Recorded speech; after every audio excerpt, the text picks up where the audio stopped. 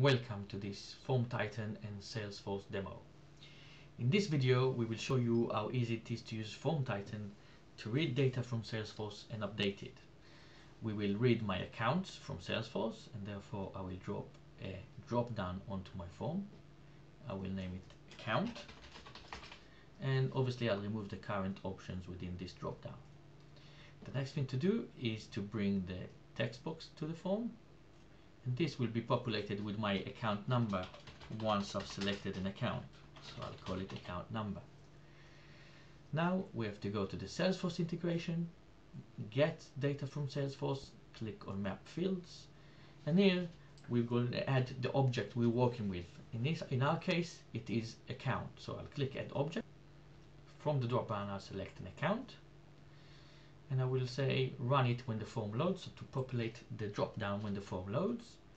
And I'll bring everything the first hundred. I will order it by my account name. And then I will say bring me the account names from Salesforce onto my account drop down. That's all I have to do to populate that drop down when the form loads the next thing to do is once I've selected an account in that drop down, I want to populate the account number. Again, we will click on add object and we will select the account object again. This time we will say there is a condition and the condition is the account ID equals to the form's account value which is the account ID. Click apply.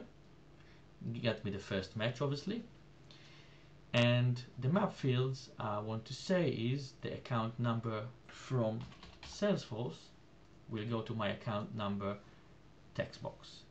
That's all I have to do in order to read data from Salesforce. It's done. The next step is actually doing the update when the form is submitted. So this is the push to Salesforce. Click edit. And then again what object are we updating? I'll click add object and I will select the account object. This time it's an update, it's not a create. So we have to set a condition and the condition is exactly the same as before. The account ID equals to the drop down value. I will map the fields to update, which is the account number. So I'll just filter by that and I'll say number and that's it. That's all I have to do. Click finish. And now when I publish and view the form just like that you will see that my accounts are populated I selected one the account number is there and if I'll update it now. Click submit. The form is submitted and now the data has been updated in Salesforce. Just to prove the point there we are. It's now P. Thank you very much and I hope you have joined demo